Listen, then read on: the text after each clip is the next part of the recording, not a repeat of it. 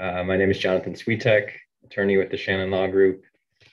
And this is uh, the February 10th webinar, a vaccine injury petitions journey through the vaccine injury compensation program. I'm going to talk a little bit about what happens to your petition after it gets filed all the way through resolution of the case.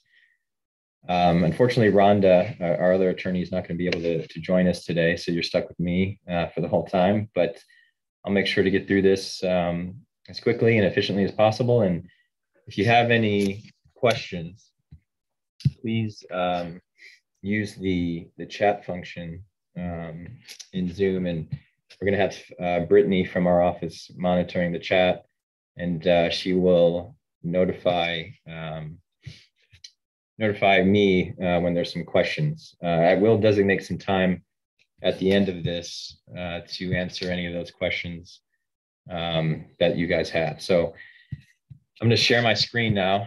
Um,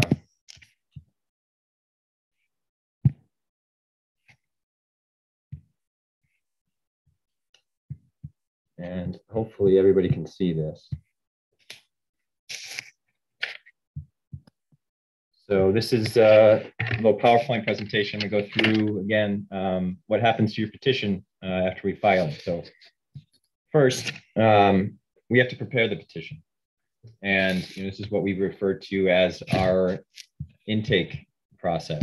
Um, begins with with a consultation with me uh, that that Heather sets up, um, and I, I go through uh, you know your injury, the, the vaccine that you received, your symptoms, um, your treatment to date. And uh, what I'm looking for is, is you know, all the markings of a, a vaccine injury that's, that's on the vaccine injury table within the program. So um, I'm actually asking pointed questions during that, that uh, consultation process. Um, and if it's a, a, case that we think is um, one that you know we can show or, or, establish is part of this vaccine injury table, then we'll we'll start the process of signing that case out. Once we we begin that process and, and we get you know an, an attorney uh, client contract together, we then uh, move into you know preparing the petition. And, and what we need in order to prepare the petition is a, a list of all your medical providers, uh, some of your own account or your own testimony um, of your injury, what, what happened after the vaccination, and um, some other witness information if we need to kind of fill in some gaps where, where maybe the, the medical documentation is lacking. Uh, so that's, that's a really important part of this process to, to get all of that information, gather all of that information, um, because it, it, it goes into obtaining your medical records. It goes into preparing your affidavit for you to review and sign, and then ultimately drafting the petition based on, on all the evidence that we gather. So um, this is a, like I said, really important part of, of the process because what we like to do is have everything ready when it comes time to filing your petition, have all the evidence we need have all the information we need uh, to move forward with your case. So um, once we gather uh, the, the medical records, uh, once we have the, uh, the, the, affidavit from, from you and from any other witnesses that we want to include, we will uh, then draft the petition. And we, we try to do that by including specific citations to the medical records because they're they're very important when it comes to proving your case, um, and obviously citations to to your own testimony in the affidavit. So once we we have the the completed draft of the petition, we'll go ahead and file that with the uh, U.S. Court of Federal Claims, the clerk of the U.S. Court of Federal Claims. And that's the only thing that we'll file in the beginning is, is, a, is a copy of your petition and a cover sheet, uh, including the, the, type of vaccine that was administered and the date of that vaccine. Um, and that's for for HHS, for the Department of Health and Human Services. That's for their own records, uh, because they like to keep track of which vaccines are, are, are uh, being alleged as causing injuries and, and, and when those vaccines are received. So the, the petition, the way that we draft our petitions um, is either on a, a table case or an off table case basis. So what I mean by that is there's a vaccine injury table and it lists the injuries or conditions that are associated with particular vaccines. Now let's take SIRVA for an example because it's easily the most common, commonly alleged vaccine injury, and uh, it's it's one that it can be caused by any vaccine that's on the list. So, if you meet the criteria set forth in the vaccine injury table, we allege that this is a table case. Now, we're going to prove a, a table case. Now, if for some reason the, the evidence in your case does, does not satisfy the criteria set forth in the table, then we would file that as an, an off-table case. So the difference between those two things is a table case, if you can, if you can establish that criteria, then there's a presumption that the vaccine caused your injury. In an off-table case, we, we don't get afforded that presumption. So we would have to prove uh, that, in fact, the vaccine that you received caused your injury. So what we try to do is, is, is make sure we can prove table cases because uh, it's, a, it's a much easier path to compensation. So during, and that starts at the, the consultation process. You know, we're trying to, to make sure that we have enough evidence to establish the criteria set forth in the table. So nearly all of our petitions that we file are table cases, or at least alleged table cases. After we filed the petition, the petition uh, goes into what they call the pre-assignment review process. You may hear me refer to this as the PAR process. Um, and this is a process where that, that is overseen by the chief special master. And he'll, he'll enter an initial order requiring us to file all the evidence in support of our petition, our, our allegation in the petition. So that includes pre vaccination medical records. We need medical records going back three years prior to the vaccination that you received. Post vaccination medical records, uh, and, and that includes medical documentation of treatment of at least six months past the, the vaccination date. That's a requirement uh, to, to entitlement is that you have at least six months of treatment. An affidavit by the, the petitioner, the PAR medical history questionnaire, which is a list of your medical providers, and then any witness affidavits, which are, are optional, but we like to include those when we can, uh, especially if if we you know anticipate any issues, um, whether there's gaps in, in treatment or delays in treatment, um, we will take steps to try and get those witness affidavits. Once you've filed all of the records that are required by the PAR process, you then file what's called a statement of completion. The statement of completion signals to the court, to the special master, that to the best of our knowledge, we've filed everything we need to file. The, the, the petition is now ready for the court's preliminary review. So at that point, we're still in the PAR process, but the, the court now takes control of the petition and they will start to review the case. So in the initial PAR order, uh, it, it states that the, the, the this pre-assignment review process, once we file the statement of completion, should take no longer than 60 days. Um, unfortunately, we haven't seen that in action. Um, due to you know, the, the backlog that the court is facing right now with, with petitions that have been filed, um, that process has been taking much longer than 60 days.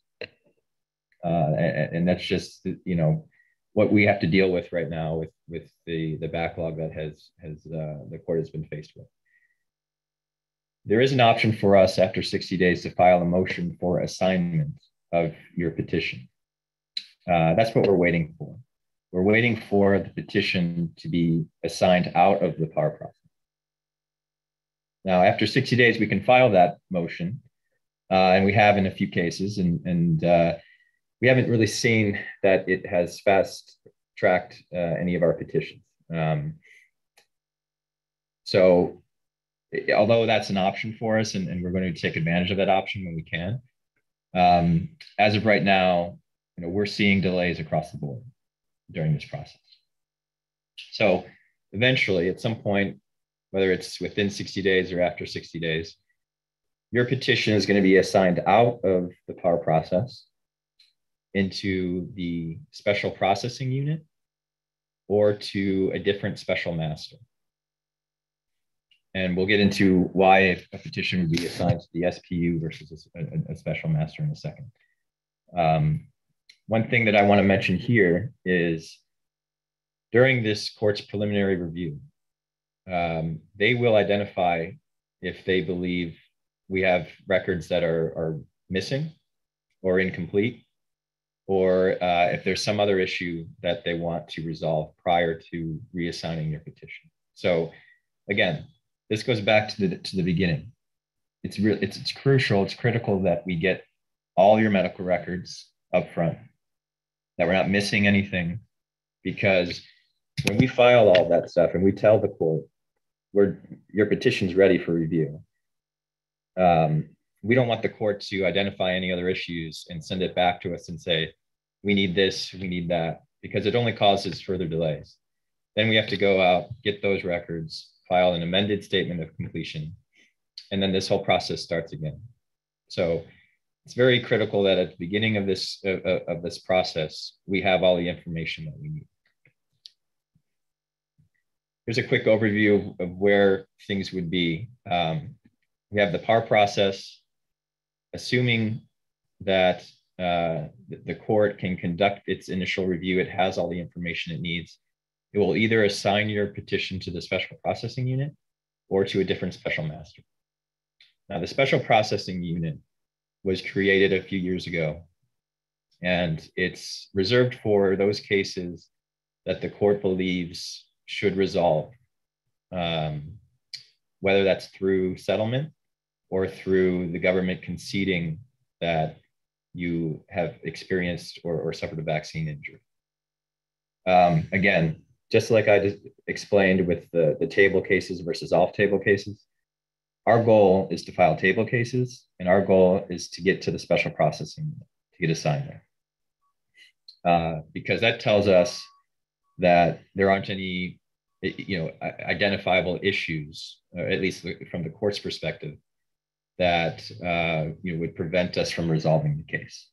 So, assuming we get it assigned to the special processing unit, um, we'll go over what the next steps would be in that case uh, over the next few slides. If it's a case that's that's an off-table case that uh, you know would require us to prove, in fact, that the vaccine caused your injury, that's much more likely to be assigned to a, a different special master. For that special master, that judge to oversee the process um, that goes into you know, proving your case.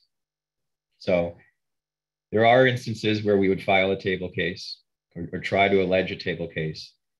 And during the process of, of the court's review, they identify issues that they feel are more complicated for the special processing unit. And they would instead assign that to a special master or a judge to work through those issues.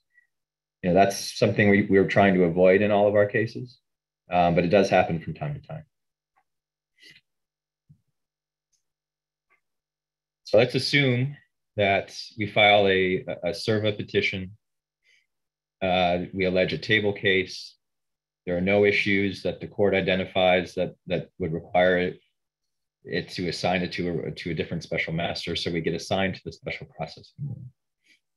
The chief special master keeps those cases. He oversees this special processing unit and he will enter scheduling orders um, accordingly. So the initial schedule, scheduling order will set a deadline for the respondent or the government to file their initial status report. And within that report, they need to tell us what their position is, how they intend to proceed with this case. Now, there's three different things that they could do at this point. They could basically kick the can down the road and say, we haven't completed our review yet. HHS has not completed its review, but we're willing to engage in settlement discussions at this point. They could uh, signal that they're most likely going to concede that this is a, a vaccine injury and want to discuss a proffer, which is extremely rare. Um, or they could signal that they're going to defend the case for some reason, whether they're going to dispute uh, that we haven't satisfied one of the criteria set forth on the table.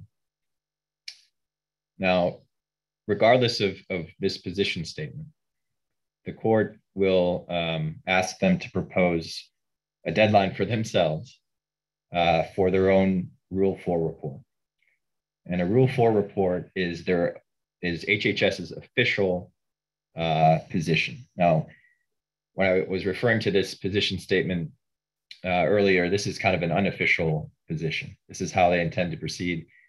The Rule 4 report is a complete summary of the facts and specific detailed reasons, either why they're conceding that this is a vaccine injury or why they're disputing that this is a vaccine injury.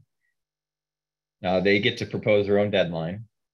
And the, the right now, the going rate for those deadlines is anywhere from 10 months to a year. And uh, that, that's after it's been assigned to the special processing unit. So as you can see, there's delays on the court's end uh, getting your petition assigned to either the special processing unit or a special master. And then there's delays from the government's end uh, filing these Rule 4 reports. And there's not much we can do on our end to speed up those processes. Now, during the, the special processing unit, while, while we're there, uh, I mentioned that there's, there's opportunities to settle the case. Now, when a uh, respondent indicates that they're willing to discuss what they call litigative risks uh, settlements. What they mean is we're not going to um, concede that there's a vaccine injury here. Uh, we're, we're, we're disputing it, but we're willing to discuss settlement. And although uh, it's, it's fun sometimes to talk about compensation, to talk about money, um, most of the time, uh, these are, are, are not fruitful discussions because the, the offers that we get on these cases are um, not representative of full value of the case. There's, they're significantly discounted um, at this stage. So, and that goes uh, especially for SIRVA cases, unfortunately. Um, it's extremely rare, if not um, impossible to get a full value settlement offer at this stage uh, without HHS uh, completing its full review of your case. But uh, of course, if, if we get any kind of offer at any point during this process, we always discuss that with our clients. And we go through uh, you know, whether or not um, it would be our recommendation to accept the offer you know, what risks there would be waiting, what risks there would be trying to um, go to hearing if there are disputes. Uh, so, you know, every once in a while, there there may be a case that, uh, for whatever reason, there there are issues with it, and you know, one of these settlements on a disputed basis becomes a real option. So, we will always discuss that with our clients. Now, uh, the other possibility, which is you know very very rare, would be the uh, the respondent or the government wanting to discuss a, a full value settlement offer prior to HHS's full review or their, their Rule 4 report. Um, the way that, that this is set up is we work with an attorney from the Department of Justice. That's who represents the Department of Health and Human Services. The Department of Justice attorney doesn't actually have any authority to settle cases. Now, they, they don't have authority to concede that there's a vaccine injury. That comes from the Department of Health and Human Services. So it, it's it's very very rare for the for the, the Department of Justice attorney to discuss a case in terms of full value or or a concession until HHS has completed its review. That's just the way it works And as I mentioned earlier, right now, HHS is asking for 10 months to a year to, to review these cases. I mentioned the Rule 4 report earlier, and uh, this is where HHS comes in. They will uh, assign a medical reviewer to review your petition. They review all the records that we file, and uh, they, whether or not this uh, the evidence meets the criteria of the table, they will um, file this Rule 4 report. And the Rule 4 report, again, is a summary of, of all the facts of your case, or at least their interpretation of the facts and uh, the, the basis for why they're conceding or disputing the case. Now, during this process, this is another opportunity for the respondent to identify any issues that may need uh, you know, fixing on our end. So if during the court's initial review, they miss some records or, or, or miss some issue, the respondent has another chance here to, to identify those and ask that we either file additional records, supplemental records, or any other um, evidence or documentation, which again would cause more delays. So it's very important that from, from the outset of your case, we have everything we need.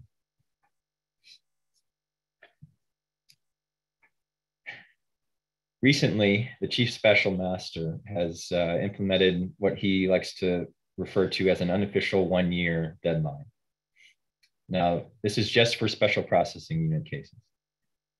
If after one year uh, from the date that the case was assigned to the special processing unit, respondent has not filed its report and the, the parties are not engaging in any settlement negotiations, the court will invite us to file what's called a motion for ruling on the record. Now, a motion for ruling on the record is kind of a shortcut to a, a hearing in front of the judge. Usually we would have to wait for the respondent to indicate what his position is, whether it's a concession or a disputed case. This allows us to file a, a motion and uh, ask the court to rely just on the record, look at the petition, look at the affidavits, look at the medical records, and uh, rule on our case, rule on entitlement. Tell us whether or not we're entitled to compensation. So, and this is uh, this is a welcome uh, shortcut. You know, this was something that um, we, we, were excited about that the special master implemented because he, he could see that there were there were too many delays from respondents' end, uh, and he wanted to give us an option. You know, if we felt strongly, if we felt confident about our case, that we could use this to our advantage and and file a motion, and then that way we're not sitting around waiting and waiting for a respondent to, to tell us whether or not they're going to concede. So we will use this uh, when we, we feel confident, when we, when we want to um, just have the judge rule on it. You know, there is obviously a little bit of risk involved because, you know, if, if the if respondent concedes, then there's no need for the judge to rule on anything. Then we just go into what amount of compensation are we talking about. Um, you know, if we ask the judge to rule on this, we're, we're, we're removing that possibility and we're asking him, we're putting it in his hands. Uh, and there is an opportunity for him to, to, to deny compensation. But again, we, we would reserve this for, for those cases that we feel very strongly about. Now, if, if in its Rule 4 report, the respondent concedes that there's a uh, vaccine injury here, then the court, having received that report, will file a decision uh, or a ruling regarding entitlement and, and, and enter a, a decision saying that the petitioner is entitled to compensation. If we haven't already submitted a settlement demand at that point, the court would instruct us to do so. And then from there, the uh, respondent would um, send over what they call a proffer. And a proffer is different from a settlement offer that I discussed earlier. A proffer is HHS's full value evaluation of our case, of the damages or the compensation in our case. So they'll they'll review all the evidence. And again, if there's any other additional evidence that we want to submit prior to a proffer, you know, that goes to damages, um, we'll take advantage of that. So if there's if there's updated treatment records, if there's additional affidavits that we want to file, anything to, to bolster our damages claim, we're, we're going to do that. Once we've done that, the respondent will will send over a proffer. And unlike a settlement offer, there's no negotiation on this number. This is their best and final and first uh, offer on the case. So at that point, obviously, we'll discuss that number with our client. And if it's uh, something within the range that we would expect for your particular case, then we would discuss taking it. Um, if we felt that the, the offer was not representative of your case, of the facts of your case, um, you know, then we would we might recommend rejecting it. Now, if we reject the proffer, um, the next step would be to go to a hearing on damages. So, something that unfortunately comes into play when we discuss a proffer versus uh, a rejection is deciding whether to accept the proffer sometimes involves a, a timing decision. Because if, if you wanted to reject the proffer, what happens is you're, you're delaying payment of your case sometimes up to a year. If it's a case that, that requires a full damages hearing with testimony and uh, with additional records and the court reviewing that, um, the way that they're scheduling hearings right now is anywhere from six to, to 12 months out. And then from there, the court, having heard all the, the evidence, still has to issue his decision and his ruling, which can take additional time. so that's why, unfortunately, when we discuss proffers versus rejections, that's a factor that has to come into play. now, there's a potential shortcut called motions day. And this is reserved for SPU cases, and it's reserved for uh, typically uncomplicated you know, SIRVA cases or, or, or other straightforward cases. as far as damages is concerned. Motions day is just a day where uh, the judge or the special master will, will hear a bunch of um, arguments and, and uh, read a bunch of briefs on cases that he wants to resolve you know, quickly. So this is uh, you know, something that we would definitely take advantage of if we had a very straightforward damages case that we wanted the, the judge to, to hear, and we didn't want to just accept the proffer from respondent. Unfortunately, you have to be invited to motions day. Uh, it's not just something that you can sign up for. Um, obviously, you can you can ask the court, and if your your petition is is appropriate for motions day, they'll schedule one. And typically, it'll take two to three months to to get in front of the judge on a motions day. But the benefit is that you get a decision that day on on your damages case. And then the, the decision is is entered, the judgment can be entered, and then we can you know, start the process of, of getting a check for you. So motions day versus you know full damages hearing. Uh, if if the case does not is not complicated and, and we want a, a quick decision and we don't want to accept the proffer, motions day is the way to go if we don't want to accept the proffer and, and we think that this is a complicated case, we need uh, experts to testify, we need you to testify, then the damages hearing would be the route that we want to go. Now for defended cases, um, again, we can go back to you know, assignment to the SPU versus assignment to a special master. Um, most of the time, if the case is is disputed or it's going to be defended, um, that case might be reassigned to a special master and out of the SPU. Um, most of the time, you know, these cases are going to involve some kind of fact hearing if there's an onset issue.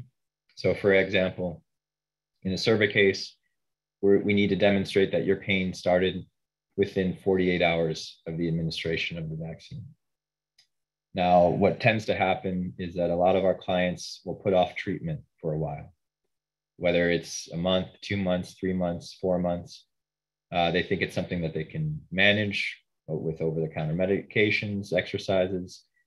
And the first time they, they go to the doctor to report their symptoms is maybe five months down the road.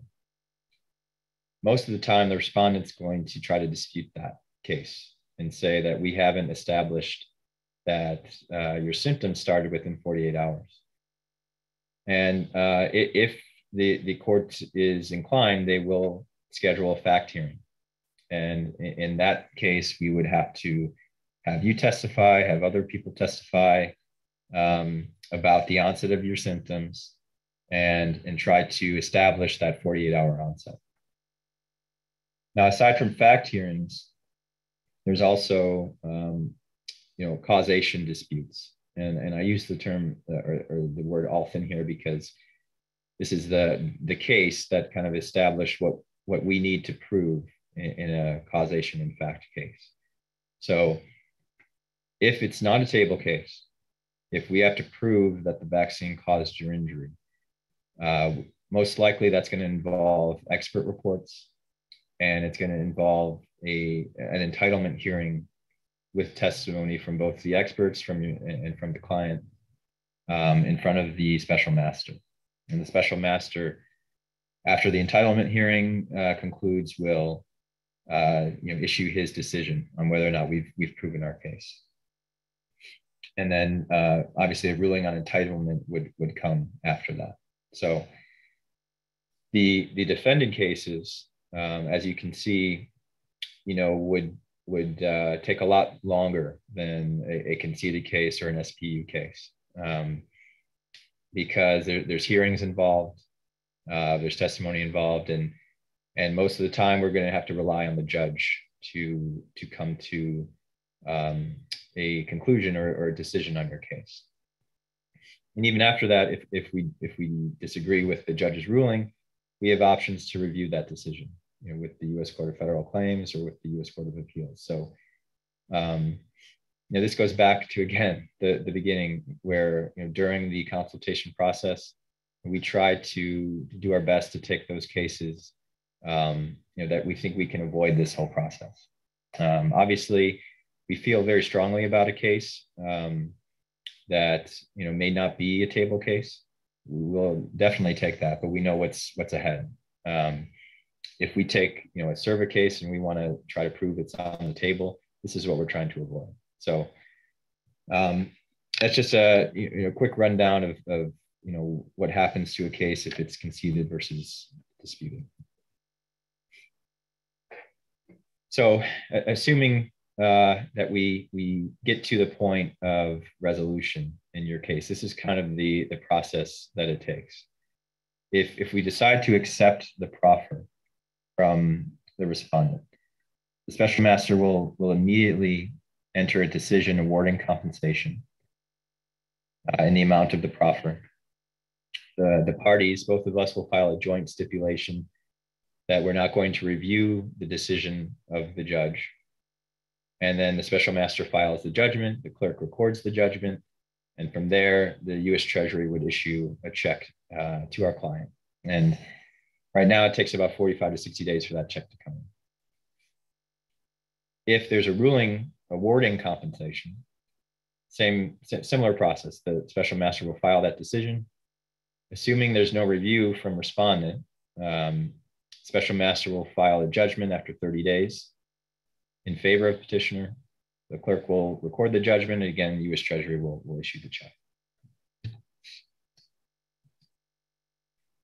So here's kind of a, a, a overview of the whole process. Um, and I, I, tried to break this down between, you know, if, if we're looking at, at, at the top line here, uh, this is for, for cases in which there, there aren't really any disputes. Um, and we kind of go, go straight from filing the petition to the judgment. Um, we're looking at, you know, uh, one and a half to two year process. On the bottom line uh, would be if uh, there, there are issues in the case, during the case, that we either have to resolve um, ourselves or through the judge. Uh, and that can take anywhere from two and a half to three years. So it, it really depends on, on the facts of your case and, and, and the legwork that we do prior to filing the petition. Um, but what we try to do is be closer on, to that top line, to be closer to one and a half to two years um, all in for this process. Obviously, things come up, and, and we, we, we do our best to address those as, as quickly as we can. Um, and, and some of it is out of our hands. You know, some of it we're just waiting for the respondent to do their job or for the government to do their job. Um, but, but this is kind of what you can expect going in.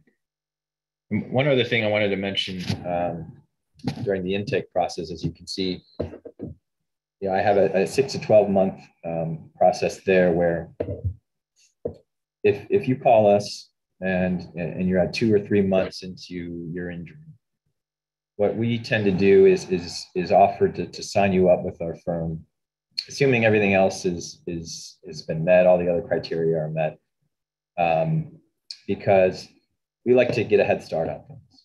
So if uh, at, at, at a certain point, you know, you reach five months, you're getting closer to six months of, of treatment for this injury, then we can really start the, the process of, of getting what we need. Um, obviously, you know, during those those months, those four, you know, three, two uh, months where uh, we're, we're waiting for you to get to that six month threshold, we're not really doing much on your case. We're not we're not requesting medical records yet. Um, you know, unless you, you have no other treatment with that, that doctor. Um, you know, we're, we're starting the process of, of drafting some, some petition um, and, and the affidavit, but until you reach six months, that's when, you know, the work really begins on the case. Um, so just wanted to, to include that in the timeline um, because when you sign up with us, you haven't reached six months, there is that period, that waiting period before we really get working on it. Uh, so this is a, a general overview, and, and again, uh, um, this is all recorded and we're gonna um, post it on our YouTube channel. So if you wanna revisit any of this information, um, you'll be able to. So here's a few things that um, our clients can do to help us, you know, kind of shorten this time timeline. Um, timely return intake forms with, with all of your medical providers. Um, you know, this is something that, you know, is time consuming. I, I completely understand it's, it's, it's uh, not exactly fun to go through and, and, try and identify all these medical providers, all their addresses. And, um, but again, it's critical that we, we have all that information because we're taking on the responsibility of, of getting all of your medical records. Um, so we need to, to know who we need to send those to. And, um, you know, that includes any doctors that you've seen for the three years prior to your vaccine. And no matter how irrelevant it may seem, you know, let, let us make that decision whether we're going to you know, file those records or, or, or retrieve those records. Um, but we, the more information we have, the better.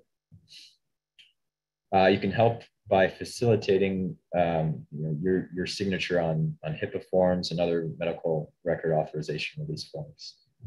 Uh, oftentimes, you know, we'll send a request out with our own HIPAA form and it will get rejected because the medical provider has their own form that they want us to use. So when that happens, you know, we, we try to get our, our client signatures on those as quickly as we can. So uh, the faster you can do that for us, the, the better. Um, the other thing, obviously, is, is would be to timely res- to respond to emails and, and, phone calls from us to uh, verify, you know, some of this information, verify your affidavit, um, so that we can timely file those, and then keep us updated um, as you, you know, treat for this injury, undergo diagnostic testing, or if you stop treatment with, with a particular medical provider. Any new medical providers, you know, we need to know about so that we can go out and get those records. And then finally, um, you know, be forthcoming with us. You know, we're, we're your attorneys. All of this stuff is, is confidential. Um, but we, you know, we need to know all relevant information. So if you if you had a prior injury, uh, if you had a prior you know, shoulder injury and it's a SIRVA case, obviously we need to know that information um, because it's it, it's going to come out somehow. you know, they're going to see a reference to it in the records. Um, and, and, then we're going to have to go out and get all that treatment records. Um, be forthcoming with us if there's delays or, or, or gaps in your treatment. Um, you know, we have ways of addressing those things, and, and, we can we can address those things if we know about them, and we can get the necessary witness affidavits that we need. Um, but during the intake process, you know, the more information we have and are armed with, the, the better uh, better off we'll be when it comes to filing the petition. Okay, um, that's uh, just kind of a brief uh, overview of, of how you know the petition would um, work its way through the program. Um, and I, you know, I try to keep it pretty basic. Uh, obviously, there are there are many issues that that may come up during a case that we would work out with the special master or the other side. Um, but as far as what we have control over, you know, this is this is how um, the case would would make its way through. So um, I'm gonna look now for the questions and see if we have any here in the chat.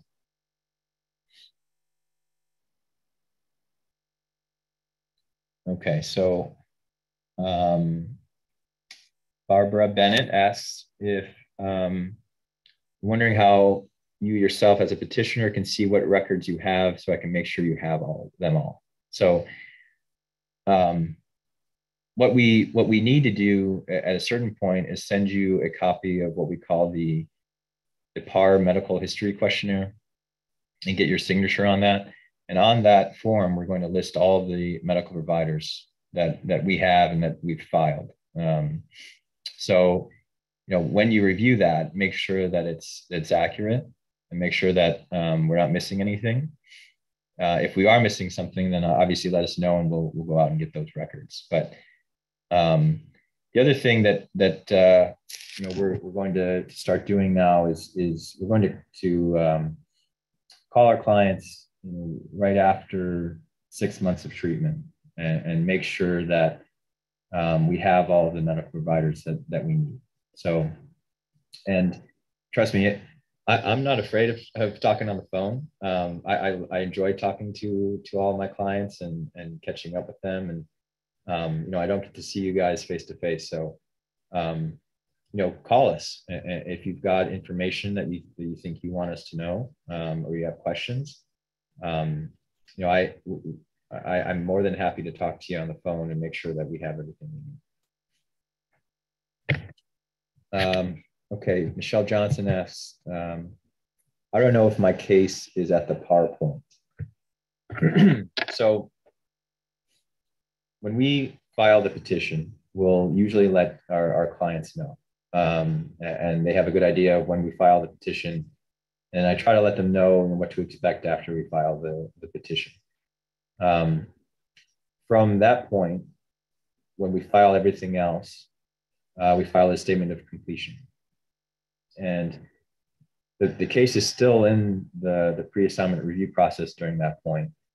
And um, so from the moment we file the petition until it gets assigned out of the PAR can take anywhere from uh, three to six months, assuming we, we filed everything we need to file. Once it gets assigned out of the PAR, uh, we'll notify the client and let them know that we're going to uh, be asked to make a settlement demand.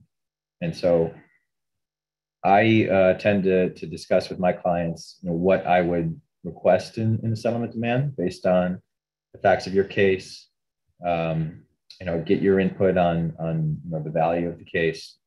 Again, these settlement demands that we send at this point um, uh, do, do not rarely result in fruitful discussions, but um, so because of that, I, I always ask for full value. You know, I'm not going to start off asking for a discounted uh, case. So, but um, you'll know when your case is out of the PAR when we start discussing that that point that uh, that settlement demand. Okay, so Barbara asks if there's a, a spot for me to check what has and hasn't been received. um, I, I, don't know if you're referring to the PAR form or if there's um, something else that you're hoping to, to check off. Um, but if we include a medical provider on the PAR form, um, then that means you know we, we've gone out and gotten those records. So any any provider that's not on the PAR form um, that falls within that window, whether it's pre-vaccination, post-vaccination, um, you know, let us know via email, phone, call, uh, so that we know to go get those records. Uh, Vince Plunkett asks if um, medical improvement in conditions over the year have any impact on compensation. So damages obviously includes any uh, pain and suffering during um, uh, the, the treatment for your injury immediately after, all the way up through the point of what we call maximum medical improvement. So at, at the time that we resolve cases, most of the time, the, the client will be uh, done with treatment. That will have reached the point of their maximum medical improvement. There's no other, no more therapy, no more other treatments that, that they can do that would improve their symptoms. So at that point, we know what we're talking about is, is past medical uh, expenses, past lost wages or earnings, past pain and suffering damages. And, and that's for the severity of, of your symptoms from day one all the way up to um, you know what your maximum medical improvement was. Now, if if your condition improves over time, um, you know that will factor into the, the damages that that you would get. But um, if you have any residual symptoms even after your maximum medical improvement, we can ask for future pain and suffering based on that. So, you know, for if we take a, a SIRVA case as, as an example, you know, you have a shoulder surgery, you have therapy to recover from that surgery, and even after all that therapy, you still have some some uh, restrictions in your range of motion or pain.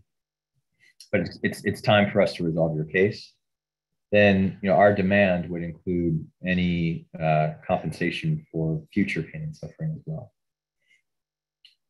And then um, you know obviously the, the, the respondent is going to look at your condition over time, and um, if you have a full recovery, let's say, they're going to obviously use that as a factor to to try and limit your compensation.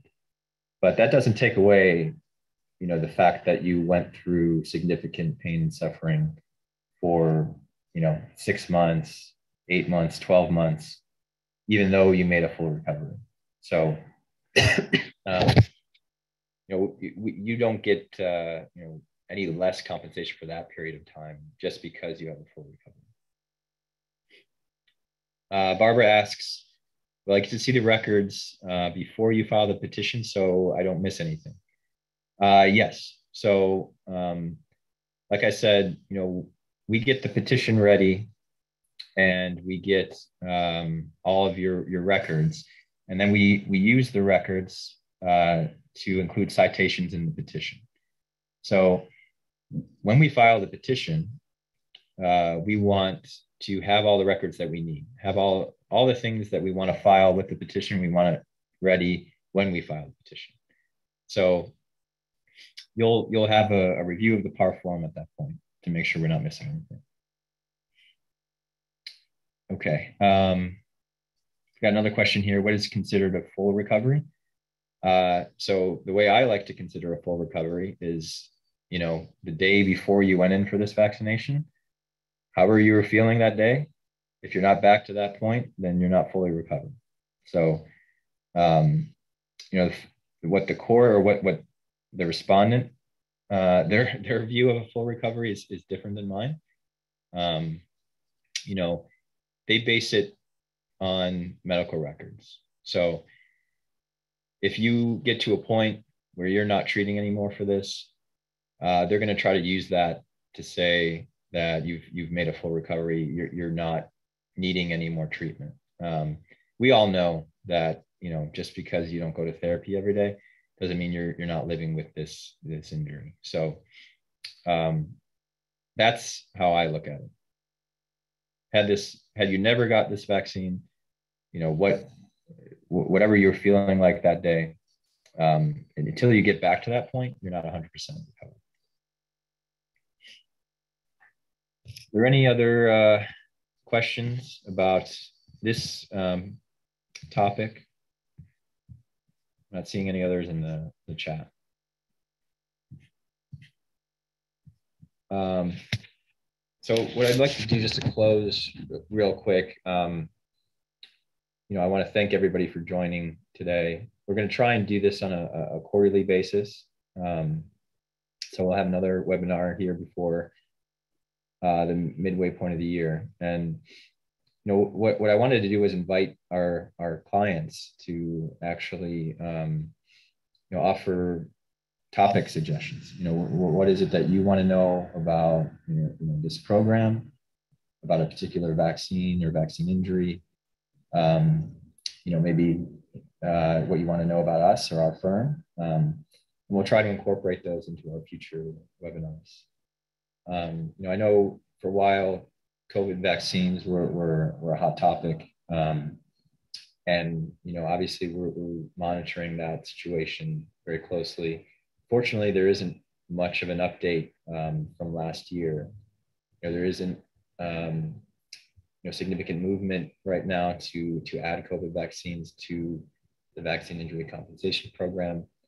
The, the legislation that was proposed last, last year uh, to, to make it easier to add COVID vaccines to the program. Uh, there hasn't been any movement since last year on that legislation. So kind of in a holding pattern for that um, right now. But obviously, if there's any news on that front, we, we will uh, will update you.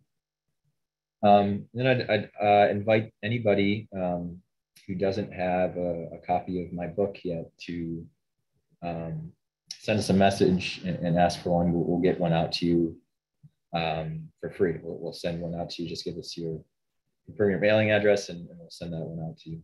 Um, then finally, you know, we will be posting this on our our YouTube channel, um, and uh, it should be up by tomorrow at some point. So we'll be able to to revisit this if you want to. Um, you know, if you want to leave a question in the comments, you know, feel free. We'll try and address those. Um, and then you know there's some other content on that on that channel um, about uh, you know, our our firm about vaccine injuries um, that I invite you to to check out. Or better yet, uh, you could subscribe to the channel so you uh, you don't miss anything else. So, um, well, thank you everybody for joining.